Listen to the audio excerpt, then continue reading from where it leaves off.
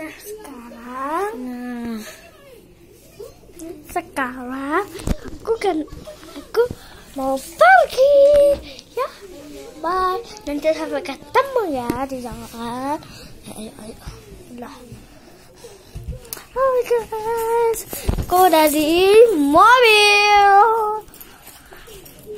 ya guys penasaran kalian mau bawa aku kayak gimana hah hmm bawa beliin hah? Sendiri. aku udah batas